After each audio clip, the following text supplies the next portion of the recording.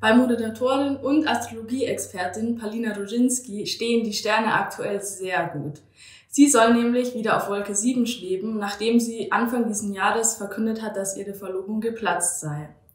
Ihr neuer Freund ist Millionenerbe von einem der größten luxemburgischen Supermarktketten und stammt außerdem aus einer adligen Familie.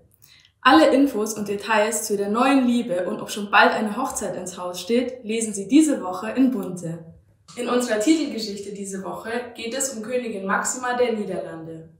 Bei aktuellen Auftritten wirkt sie so stolz und selbstsicher wie nie. Doch was viele nicht wissen, hinter den Kulissen führte sie jahrelang einen Kampf gegen sich selbst.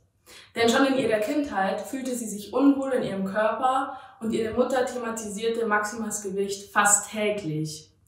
Diese Woche lesen Sie, wie Maxima endlich lernte, sich selbst zu lieben. Natürlich haben wir diese Woche auch ein weihnachtliches Thema für Sie. Wir haben hinter die Kulissen von Deutschlands schönsten Weihnachtsmärkten auf Schloss Kaltenburg, Schloss Bückeburg und Co. geblickt. Warum die Weihnachtsmärkte gerade für die Schlossherren so wichtig sind, hat uns unter anderem Alexander Fürst zu Schaumburg-Lippe erklärt. Viel Spaß beim Lesen!